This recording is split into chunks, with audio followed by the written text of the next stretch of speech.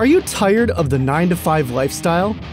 Do you want more freedom to do what you want, when you want it, without sacrificing your current income? Then this is the show for you.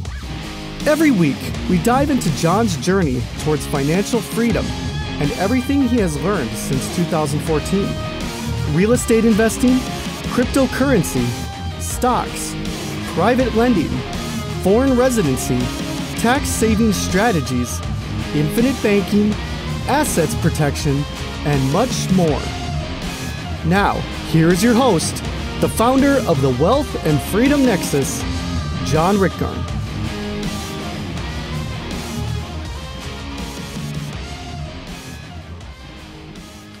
Good morning, afternoon, or evening, depending on when you're listening to this. This is your host again of the Wealth and Freedom Nexus podcast, John Rickgarn.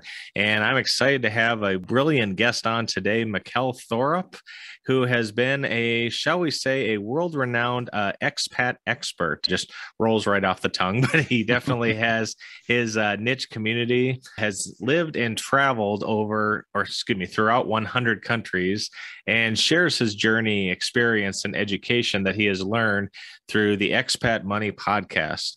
Now, what started as just a podcast has grown to a worldwide community of entrepreneurs who are living international location independent lifestyles. Mikkel and his team believe that just because you were born in one country, say the US, the UK, Canada, for instance, does not mean you have to pay your taxes, bank, invest, raise a family, or even just live your life in that same country. There's a great, big, wide world out there. With that, Mikkel, welcome to the show and thank you for joining us. Thanks very much, John. What a very nice introduction you've done. Oh, thank you. so, well, yeah. I'm interested. I'm very excited to get into today's interview, and you know, hopefully, inspire and uh, share some of my knowledge and my experience with your excellent audience. And yeah, let's do it. Perfect. I appreciate it. So now I myself, I'm I'm kind of boring. So I've well, I was born in Florida and now I live in Minnesota of all places. Go figure that out. But I've just lived in one country. I've invested in two other countries and I've let's see, been to five other countries myself. Uh, based on or what's or how's been your background been where you've been to over 100 countries and what kind of started that whole journey for you that you wanted to see the world and live where you have uh, lived? Well, for mine, I have to go kind of far back in time, but I, I promise it won't be too long of a story. Okay. basically, what happened was when I was a child, I was diagnosed with a learning disability. Hmm. And I was in grade three, and the teacher pulled me out of class and they brought me to a little room. And in there was the, the principal and the resource teacher and my teacher, and I think maybe the vice vice teacher. I can't remember exactly who was there. Okay. Um, vice principal, and they sat me down and they said, Mikkel, Mikkel, something doesn't work quite right in your brain. And what we want to do is we want to send you to special school, special school for special boys. So, John, that's what they did. Every okay. day for three years, I got on a little white bus, took a little white bus across town, and I went to this quote unquote special school. Ah. Now, the only problem was it was not a special school. It was a regular school with a special class. Ah. So you can probably imagine what happened. I got in a lot of fights. I got picked on, I got bullied, and it was a pretty crummy situation. Now, this is no woe is me, woe is me, poor Mikkel, victim, victim mentality. Like, I certainly gave as good as I got. You know, I got hit, I hit back. There's no question. I'm not going to claim otherwise. Sure. But um, I went through this three years and it, it was pretty rough. I, I, I did not enjoy myself by any means. And after that three years, I got to go home to my neighborhood school, quote unquote neighborhood school. And I was so excited. I thought, wow, these kids will have missed me so much and they'll be so excited to see me and they'll be so happy. And I got back there and they all started, you know, whispering and gossiping. Oh, I remember Mikkel. He went to some retard school. Oh, totally boy. politically correct. 1980s. You know how sure. sensitive children can be. Exactly. And, um, and so once again, I started having a lot of problems there and uh, I would start failing out, and then they'd send me, send me to summer school, and then I'd start failing that, and somehow I squeaked into high school. And basically, long story short, at 12 years old, I stopped going to school. I started failing out. And by 15, I officially dropped out. Okay. And what happened was I started traveling internationally not long after that. And when I started traveling, I started to meet all of these incredible people who were doing things in totally different ways than I've, I had ever done living in Southwestern Ontario, um, how I was grown, uh, how I was grew up. So it really showed me that there's not just one way to do things. There's not just one way to learn something or to go about your life or one right answer. Actually, the world is like a really big place and there's lots of different people doing lots of different things. Mm-hmm. Well, fast forward to today, and uh, this love of travel never stopped. I have been traveling for 21 years straight. Oh, As oh, wow. you mentioned in the introduction, I have been to over 100 countries, I think 106 countries at last count. Okay. I've lived in nine different countries.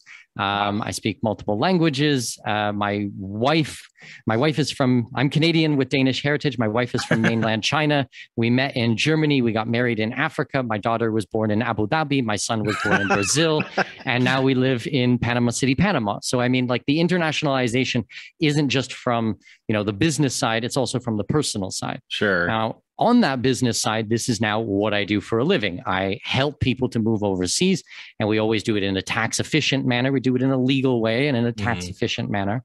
Um, but I learned all of these things by actually doing them myself, not okay. going to university and studying a course from someone who's never done it themselves. Because to be honest, what I do for a living does not exist anywhere else. I created my business, I created mm-hmm. my job from scratch.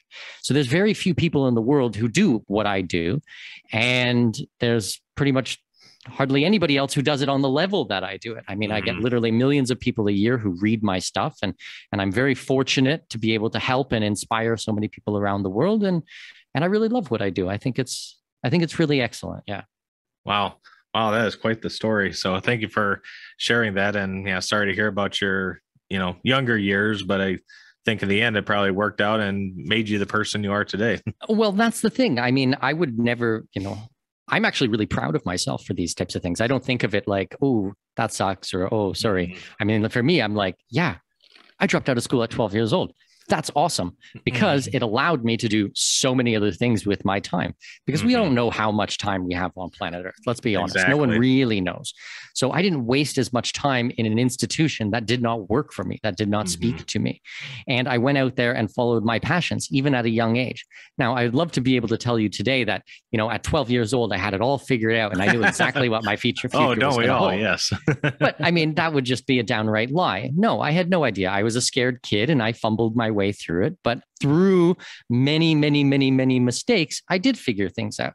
So the good thing is now working with clients, they don't have to go through all of the mistakes that I went through.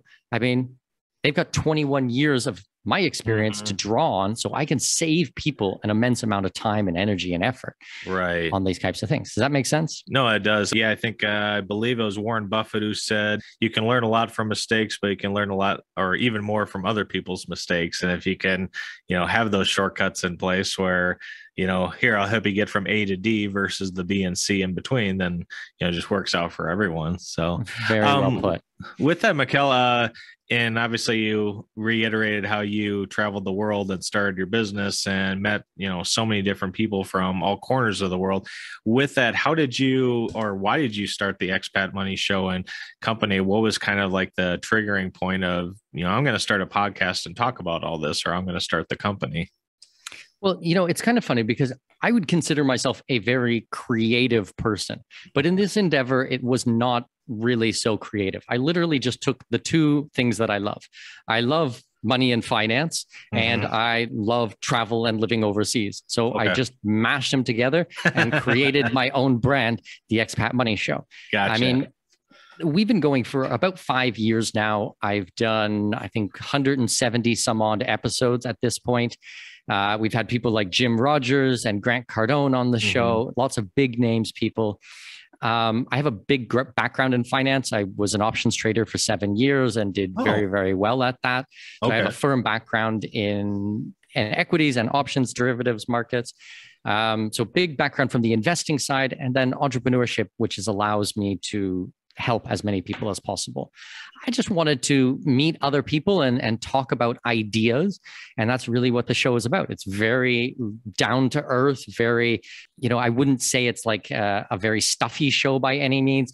Right. We are ourselves on the show. I swear on the show. I mean, I'm loud and I'm boisterous and I laugh and it's it's not a it's not a stuffy finance show by any means. You know, it's a it's a very relaxed and I get these incredible people from all over the world who have done these wild things and, and it's all mashed in with the internationalization and travel. We've had people on there who have traveled to every country in the world and people who have done, built billion dollar brands from scratch. And mm-hmm. somehow it all works on the podcast. Right. And then from there, I've gone on, wrote a book about it. We now do the consulting business. I do a whole bunch of special reports and uh, a whole business that came out of the back end from this cool. And I can uh, definitely attest. Uh, your book is definitely a must read for anyone that wants to internationalize their lifestyle, so to speak. And I will actually have a link to that book in my in the show notes as well as to your podcast. If you have not listened to the uh, Expat Money Show podcast, definitely recommend it.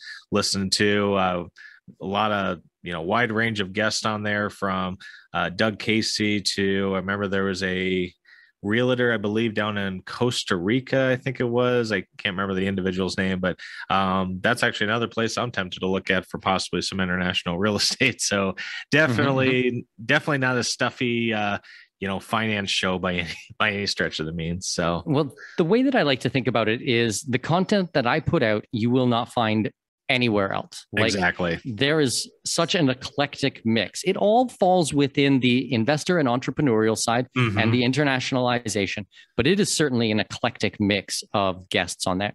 But this is for my own amusement more than anything else. Like I would get really bored if I just did the same show over and oh. over and over again. I want exactly. things to be exciting and fresh every day.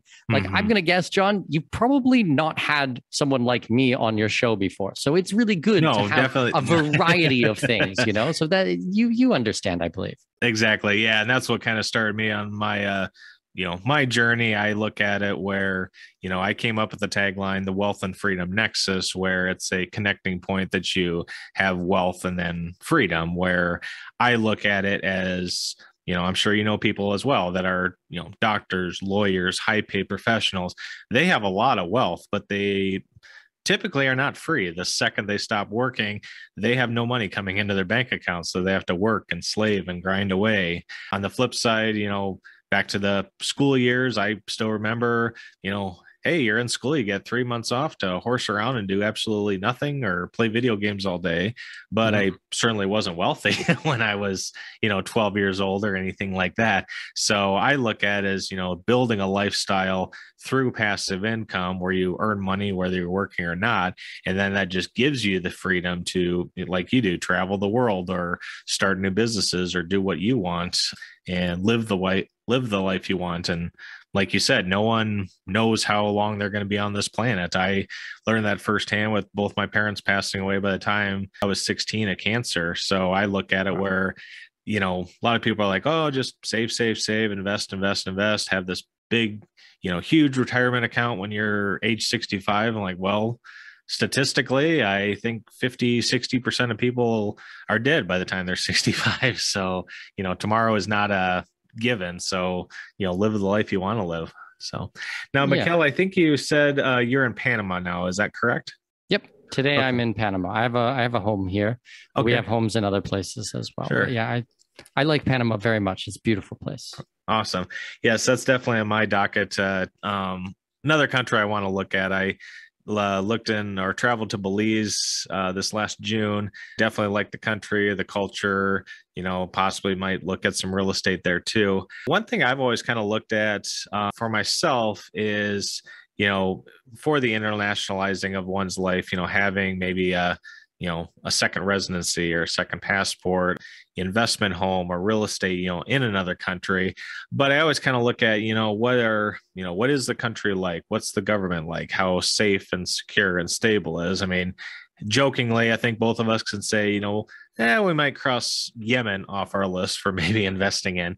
But with panama i kind of look at the world as a whole. I think we were all kind of taken for a little journey with uh, COVID from March of 2020. We got to see some countries did really well with uh, dealing with COVID and some not so well. So, how has Panama been for you, both on a pre-COVID basis and a post-COVID basis? Well, okay, so there's there's a lot to unpack on that one. Mm-hmm. So, COVID did hit Panama in that the country is very wealthy here. So they had the money to lock down. Now, if you look okay. at some of the other Central American countries, let's take Nicaragua, for example. Sure. Nicaragua is a massively poor country. Mm-hmm. And Ortega just said, hey, listen, you guys do what you want to do. If you want to stay at home, you stay at home. You don't want to stay at home. Okay, great. Yeah. Because they really couldn't. I mean, they would have had a revolt. They would have marched and taken them out if they if because the people would have literally been starving to death. Right. In Panama, they had the money to lock things down. They had the money to enforce it.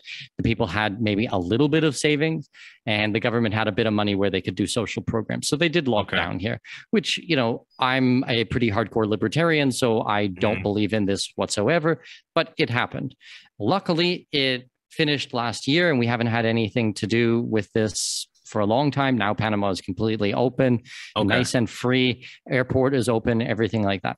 Now we have countries around the world that are either still not opened or are locking down for a second time. Or Panama kind of learned its lesson, yeah, or a third time or fourth time, etc. Um, Panama kind of learned its lesson. I okay. think that there was, I have been told from very good authority that someone approached one of the health ministers and said, if you don't open this up, I'm going to kill you. Oh. And a week later, the country was back open. So it's that kind of uh, torches and pitchforks type of yeah. mentality, which happens here in Central America, where these countries have to watch out for. Right. So I don't think that we're going to get any more lockdowns here in Panama. Okay. I'm very grateful for that. I know Belize did have lockdowns. Costa Rica right now has vaccine passports, which I don't agree with whatsoever.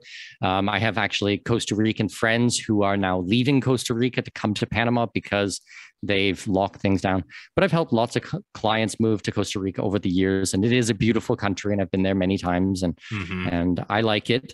Uh, I just don't like these specific parts. Sure. So I think you have to look at kind of at many different aspects but as you mentioned, you know, what are your immigration processes like? What are the laws like? What is the currency like? What are the investment opportunities like? All of these types of things we need to go into depth with. So when I work with private clients, you know, we're creating a giant list of all the things that they're after and okay. from there tailor making something based on their needs so hmm. it's not like there's oh you know what is the best country in the world because what is the best for me might sure. be terrible for you.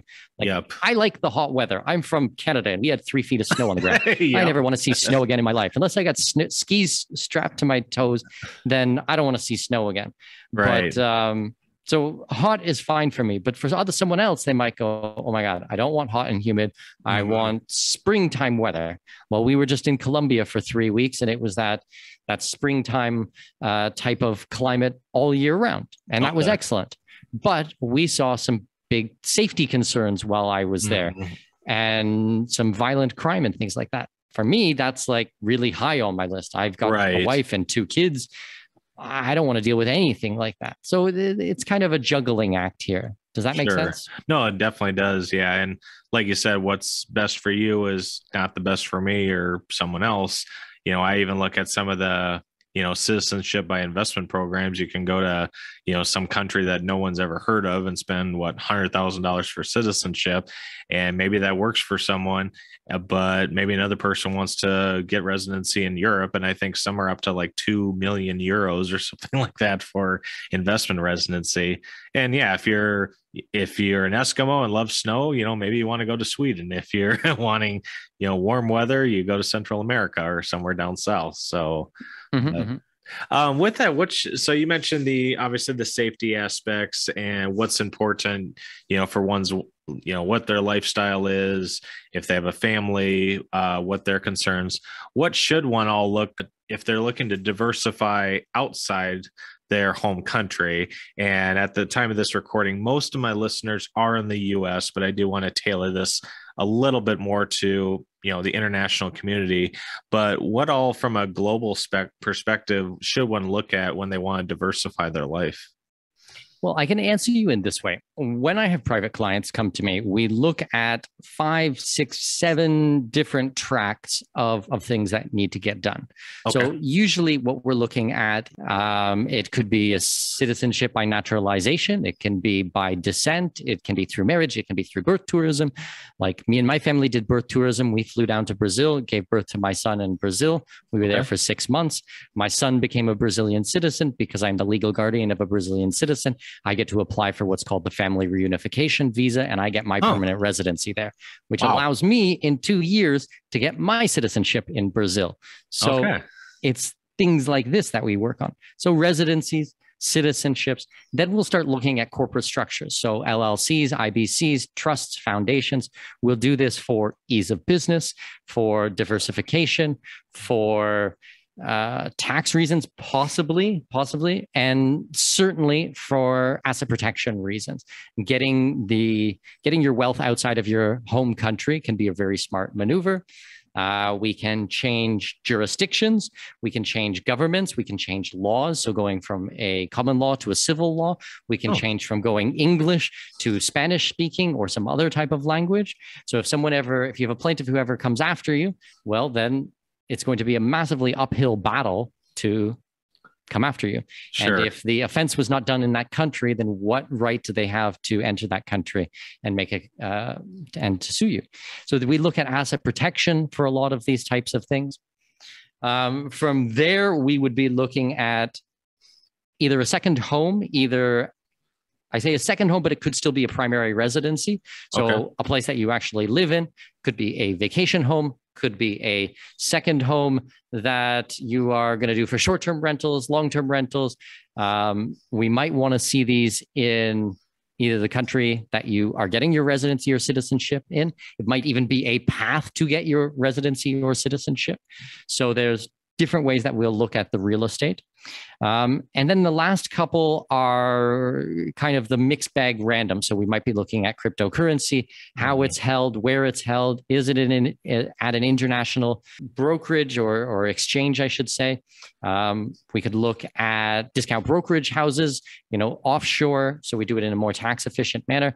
If you're an American, you're going to be paying taxes worldwide, but we do have strategies to mitigate your taxes. Sure. We can get into taxation in another part. Uh, we would be looking at precious metals. So, not just how to buy and sell them, but where they're held. If it's in a private vault, is it allocated, unallocated? Is it a safety mm-hmm. deposit box? Is it segregated? All of these types of things we look at. And then the tax mitigation. So, tax mitigation from the US, from the country that you have your residency and citizenships in, and from your host country that you might be living in, either as a tourist or on some other type of visa. So there is like a lot of things that mm-hmm. we unpack on these types of calls. And usually it takes me about three to six months to go through all of these things with a client. We okay. start by creating a plan for them on the first couple of calls and then setting up calls with my lawyers with my accountants who i work with and start putting all these things in place. Okay. and then i join all of the calls and i sit down with them and we might have a, a panamanian lawyer and an american cpa and me and the client and the spouse. We might have like five of us on a call and wow. then okay from a tax side what does it look like? From an immigration side what does it look like? From a legal side what does it look like? From a lifestyle side what does it look like? From a family side what does it look like? All of these types of things. And we create this this overall holistic plan and then implement everything over those three to six months. Wow. Okay. That's pretty intense. Uh, very intense but the thing is john at the end like their life is like completely transformed. Right. And they have things that like they may have been dreaming about for 20 years and have never had the courage to put into place. Mm-hmm. And we get it all done and we get it all done legally and tax efficient. They're saving hundreds of thousands of dollars depending on the situation and taxes. And it's like so amazing to see the look on their face and they're like, wow, like they actually did this and we break it all down. Mm-hmm. I don't know. I, I, I think it's really cool. I think it's really, really neat. Yeah, no, I agree with that. Uh, one thing I did just want to quick unpack uh, for some of my listeners And again, kind of gearing more towards the US based listeners. Now, when you're talking about the residency versus the citizenship, now the citizenship would basically be, you know, I'm in the US, I have a passport, I'm a citizen, I was obviously born here. The residency would be more kind of like the equivalent of a green card where I was born somewhere else, but maybe I'm working here in the US now. Is that correct? Yeah, that's one way to look at it, and I look at it, and I think that is in good context for Americans. Okay. But to break things down a little bit further, you have many different types of visas. Mm-hmm. We focus specifically on residency visas, okay. and of those visas, I personally like permanent residency visas. Now, I do do. Uh, working visas. I mean, I have done, I've gone through them myself and I've helped some clients, but those are usually tied to an individual company. Um, we okay. can do retirement visas, which I also have done many, many times for many of my clients, mm-hmm. but a lot of times those will not lead to citizenship. Our end goal is usually citizenship. So okay. through a permanent residency, we can actually go through what's called naturalization. So if you live in the country, could be five years, could be seven years. For Switzerland, it could be 20 years. Oh, but eventually, you are on a path to getting a passport. Now, the passport is just a legal travel document to cross borders. Sure. But the, what we're really looking for is the the citizenship. So you'll actually have a certificate that you are a citizen. So if you lose your passport, you can get another passport. Okay. You have all the rights of someone who lived there. The only thing that might change is for some countries they won't let naturalized uh, citizens join the military. So okay. they won't let them do national service. And in some cases, they may not let you vote. But in most cases, you can. There's just a couple of different uh, rules for, for some of these countries. But in either instance of a residency or a citizenship, you have the legal right to live, to work, to buy property, to be in this country. The big difference is with the citizenship, you get the passport and sure. you you have you can go there anytime you want, no matter what. It's not going to get revoked or anything like this. Sounds good. And I think that, and we'll see if uh, President Biden or AOC or Warren is listening to this, but I think the tax mitigation is probably a uh, probably one of the smarter strategies right now uh, here in the U.S. And I can't can't speak to Canada or other countries, but in the United States, we've had everything proposed from uh, we're going to track every transaction in your bank account for that's uh, $600 or more. I think Correct. that's out now for how long we'll see.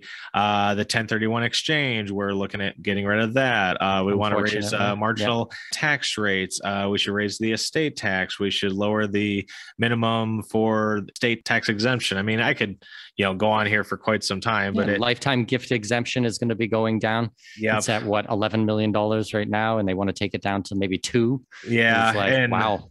Well, and, and again, rough. right now, these are all proposals. I mean, who knows what's all going to make it through, you know, Congress and what the final bill was. I am more of a, you know, plan ahead and, you know, what are some options, you know, for myself and my family.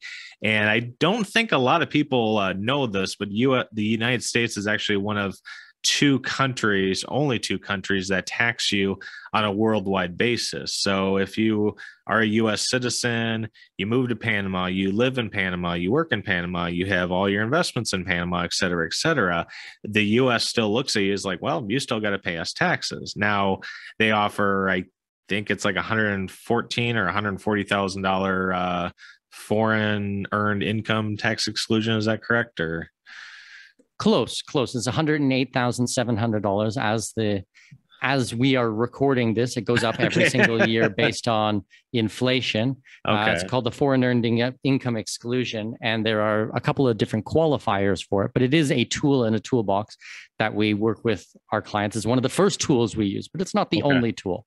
But it is a is a viable option for reducing your taxes for sure Gotcha. All right. So I'm kind of looking at just this checklist. Obviously, you've accomplished quite a bit, Mikkel, and you know, from your podcast and your book and helping clients, you know, throughout the world. As we're uh, publishing this, we are, or excuse me, recording this, we're at the tail end of 2021. Uh, you yourself, you know, either professionally or personally, what are you most excited about for uh, 2022 and beyond? Well, I'm going to be doing a lot of traveling with my family this year. So that's what I'm pretty stoked about. We go to Aruba, my wife and I, then we go back to Brazil to finalize our residency. So we'll go to Brazil and Uruguay. For that, I have meetings in Uruguay. Then we're doing a we're going to Turkey and hopefully Saudi Arabia oh, for Oh, wow. a couple of weeks. We're going to buy some properties in Turkey and then Saudi Arabia because I just have never been there before, even though I lived in the Middle East for eight years. Okay. Um, in August and September, I should be going to the Eastern Bloc and uh, the Balkans for about Okay. two or three months. I'm speaking on stage at a couple of conferences over there. And then next November, we're doing the Galapagos. I'm going to be doing a um, a conference on. We rented a small cruise ship. My friend and. I, we rented an entire cruise ship.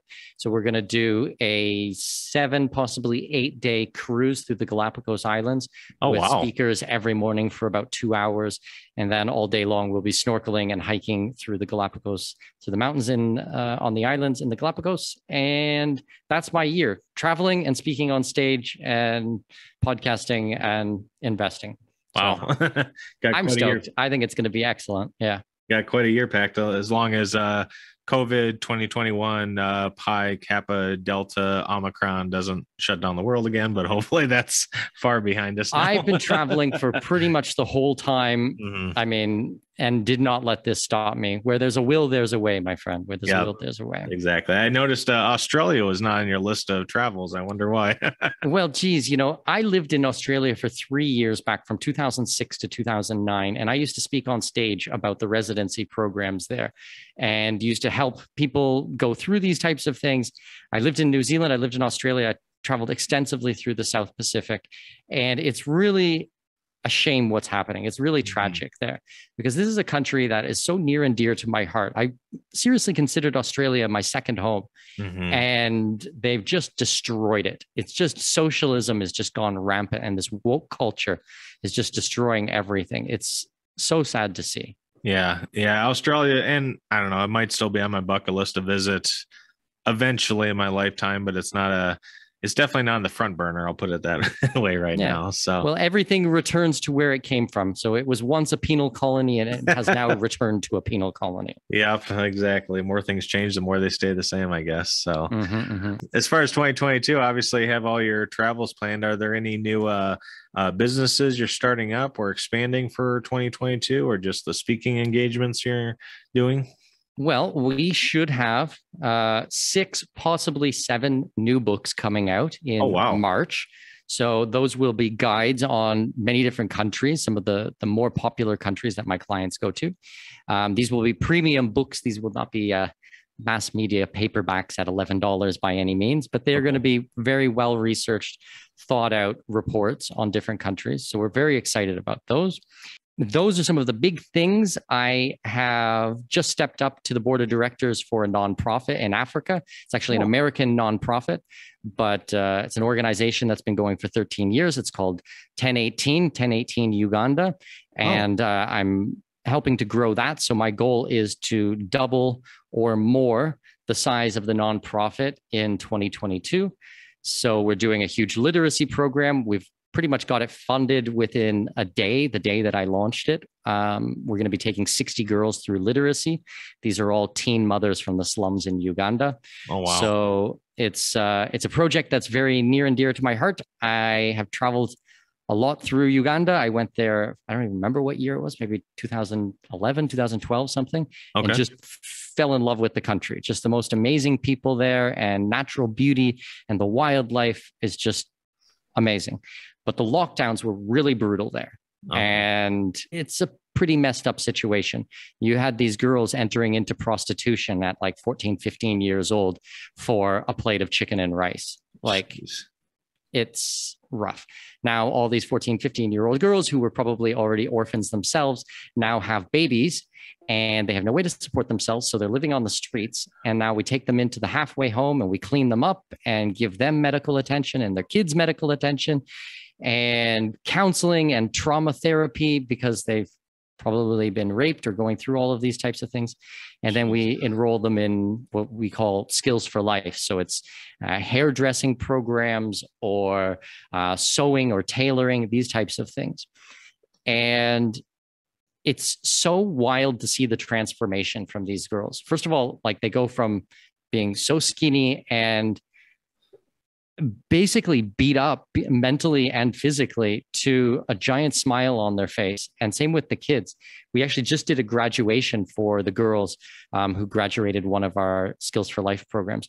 And you see the photos, and they've got their graduation gowns on that they made. So mm-hmm. through our tailoring class, and then the the girls that were in the hairdressing school, they did all the hair and the makeup. So they all look so beautiful, and they're all done up, and a huge smile on their face. And it's like, wow, just a small amount of money has made such a massive impact mm-hmm. on someone's life. It's incredible to see. Wow. It's so rewarding. Wow. That is quite the mission there. Uh, since you brought that up, Mikkel, is there a way, and maybe I can put this in the show notes if someone's interested in supporting that organization, 1018 Uganda, you know, through donations? Is there an opportunity? Yeah, absolutely. We would that? love that. So if you guys go to 10 as in one zero, 18 as in spelled out the letters okay. dot org it's going to take you to our website uh, we are a 501c3 nonprofit uh, registered in the united states so we are tax deductible for those who itemize. And it's a good it's a good organization. It's based on libertarian values. We do do relief aid. Like we like i said we do help feed them and clothe them and put a roof over their head. But a lot of the focus is on the entrepreneurial side. Okay. so teaching the girls how to take care of themselves you know um, accounting basic arithmetic. We're the big one i'm doing right now is the literacy program that i mentioned because the girls probably have never gone to school at all.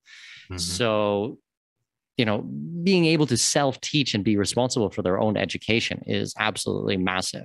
Yeah. So I'm I'm working a lot with these guys. I sit on the board of directors. It's a completely non-paid position. I just want to come out there and say this straight off the bat because there are there's a lot of bad things that happen with charities yep. and nonprofits. Uh, I don't take a salary. My partner Jennings Wright, she doesn't take a salary. We both donate our own money to the charity, so it would really make no sense if we took a salary right. ourselves. uh, we actually break down. We're very transparent of where all the money goes. If you see salary on there, the salary that is on there is the security guards that work at the halfway house to protect the girls. It's these types of salaries. These are done by Ugandans. So we actually employ Ugandans okay. to do this type of work to help keep them safe um, for the teachers for our vocational training for these types of things. Wow. So it's a really good nonprofit. Uh, I'm super passionate about it, which I think you can probably yep, see. Definitely. and uh, yeah, we'd be very happy to um, to speak with any of your people and and bring them on board. And like I said, it's tax deductible, so sure, it goes no, a long way. Yeah, thanks for sharing that, uh, and I'll definitely have a link to that in the show notes. It's definitely good that you, you know, like you said, just nonprofit, you're donating your time and money. I won't mention names, but I know there's some nonprofits that I think they're only nonprofit because they pay the CEO every dime that the organization brings in, and hence they don't have a profit. so, yeah, exactly. Or they fly private jets, or they sit around in oak boardrooms and or, they eat you know hundreds of thousands of dollars worth of food for board meetings and things and it's yep just, and it's unethical and it's wrong exactly yeah. so all right. Well, we're getting uh, close to the end of our time, Mikkel, and I greatly appreciate uh, taking time out of your schedule to come on to my show and you know educate our listeners. And if they were interested in reaching out, you know, diversifying their life, maybe mitigating some taxes, or you know, buying a second home overseas, or you know, anything along those lines, uh, what would be the best way to reach out to you and your company? Yeah. So if you guys are just getting started and you just want more information, if you just want to learn, sure. then I suggest that you pick up my book. It's called Expat Secrets How to Pay Zero Taxes, Live Overseas, and Make Giant Piles of Money. Super humble title. I know, John, I'm a very humble guy. That's how I roll. but uh, that is a very good starting place for a lot of people if you just want education. If you want to work with me and you actually want to put something in place and you're serious about this, then you can reach out to me at expatmoneyshow.com. You're going to find a contact us form on there. I think it's on the about us page or something at the bottom. If you scroll to the bottom, shoot me a message on there. I, am happy to to try to help help out, and I'll explain more about my products and services and and how I assist people. But um, yeah, besides that, check out the podcast, Expat Money Show. If you go to literally any podcasting app, you'll be able to find us on there. Uh, subscribe on that. We have a, a, private Facebook group called Expat Money Forum mm-hmm. with thousands of people on there with a huge discussion uh, you know, a lot of networking, a lot of making mm-hmm. friends, a lot of even romance has been found on our group. So, wow. yeah, it's uh, it's a pretty interesting place, pretty lively, mm. uh, lots of interesting discussions there. I can't necessarily promise that you will always like what you hear on there, but you know, it is a cool place. You're going to meet some interesting folk on there, but yeah. I, I love them. I think it's great and I can attest to that too. Uh, yeah, I've read your book, listened to your podcast, and I'm part of that Facebook group as well. It's uh, connected with some numerous friends. Uh, old professor of mine uh, lives in the Philippines now. Another friend that's looking to move to Costa Rica. Uh, connected with someone in the Balkans. I mean, yeah, it's a very very much an international community, no question. so, thanks again, Mikkel, for your time. I'll be sure to put all these uh, uh, resources in the show notes, and I'll probably have you back on the podcast another time. Sounds good. Thanks so much for your time, John. I appreciate it. Thanks, Mikkel. Thank you for listening. Be sure to share, rate, review, and subscribe on your favorite podcast platform. For more updates, check out www.wealthandfreedomnexus.com. Remember, nothing on this show should be considered tax, legal, investment, or professional advice. This show is produced solely for educational and informational purposes. Please consult an appropriate and licensed tax, legal, real estate, or business professional for specific advice for your situation.